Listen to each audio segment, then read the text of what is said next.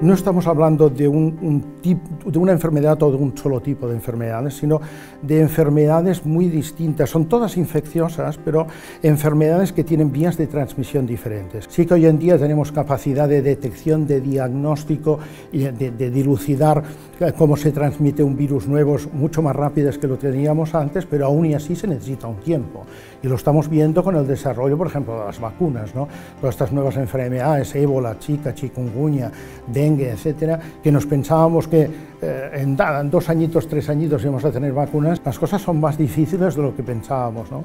Eh, es, un, conglomerado eh, de una complejidad en donde todo el mundo tiene que ser partícipe de eso, no únicamente los expertos. O sea, a partir de ahora vamos a tener todos que pensar mucho y la cadena alimenticia, desde, la, desde el origen del producto hasta que se vende, vamos a tener que mm, intermediar ahí.